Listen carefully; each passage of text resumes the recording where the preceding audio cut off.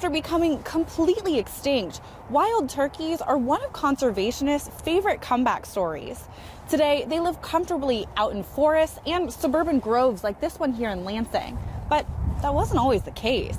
Once uh, settlement happened and the logging boom happened in Michigan, it decimated the turkey population. And basically, we think it went all the way down to zero, that turkeys were extirpated entirely from Michigan. That's Rachel Leitner, a wildlife outreach coordinator with the Michigan Department of Natural Resources. She tells me that the combination of unregulated hunting and the destruction of the turkey's habitat through logging and development were to blame for their extinction in the state. So, with no habitat and too many turkeys being taken, we essentially wiped out the entire turkey population here in Michigan. It took a two pronged approach to see these feathered friends back in Michigan. We purchased 50 turkeys from Pennsylvania. There was a turkey farm there.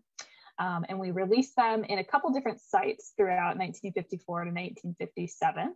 Um, most of them, the release sites were around Allegan, Baldwin, uh, Gladwin, and Mio. Each of those sites had forestry districts, Leitner says, so the birds had habitats in which to roost. That was step one. And we also were managing the habitat so that once we released these turkeys, they were able to find food and shelter to be able to make it through those harsh Michigan winters.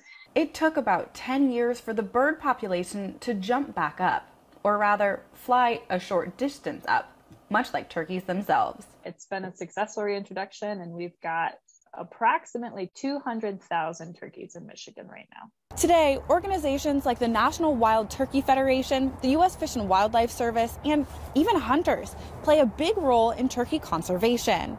Buying hunting licenses helps pay for some of those efforts. For now, reporting in Lansing, I'm Mel Myers, Fox 47 News.